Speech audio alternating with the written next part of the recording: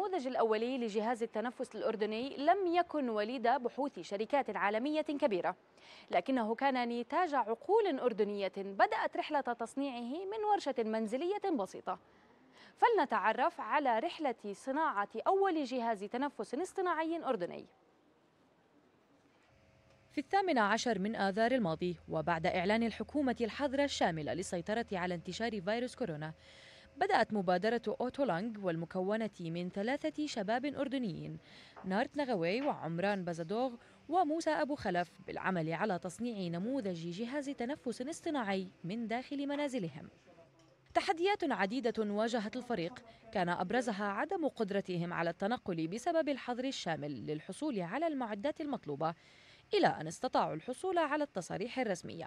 بعد انتهاء مرحلة الدراسة المكثفة واجتماعات الفريق الطويلة على برامج التواصل واجه الفريق مشكلة عدم توفير بعض القطع الضرورية لتصنيع الجهاز لكنها لم تكن عقبة أمام المشروع إذ قاموا بتصنيع تلك القطع في منازلهم عن طريق الطابعة ثلاثية الأبعاد.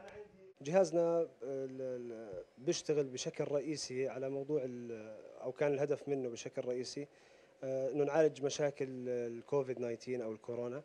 وطبيعة عمل الجهاز بشكل رئيسي المرحلة الأولى طبعا إنه يصير ال mix بين الأكسجين والهواء بال percent اللي بحط الدكتور طبعا أو اللي بعايره الدكتور.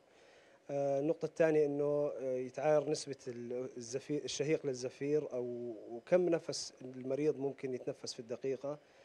بعد مرور ستة أشهر على بداية الفكرة أعلنت أخيرا وزارة الصناعة والتجارة والتموين عن إصدار أول نموذجين لجهازي تنفس اصطناعيين لتبدأ المرحلة الثانية. فلا المفروض الفترة القادمة تكون عملية التدقيق الصحي للجهاز واعتماديته صحيا سواء بالهيئات المحلية في الأردن أو خارج الأردن لأنه بالآخر عم نحكي عن حياة إنسان. الحمد لله جهاز كجهاز شغال بضل عملية الفحص الطبية وآلية اعتماده والتقارير الطبية اللي راح تطلع عليه. وهذا طبعا إحنا بريحنا على أساس نعرف إنه الجهاز هذا لا سمح الله إذا صار في حالات كثيرة عندنا بالأردن واحتاجت هذا الجهاز ممكن نحطه بكل أريحية على بني آدم. إنجاز علمي أردني يعزز الأدوات الدفاعية لمواجهة جائحة كورونا. إن تم استغلاله بالشكل الأمثل لتبدأ بعدها المرحلة الأخيرة وهي رحلة البحث عن التمويل. مي النمر المملكة؟ عمان.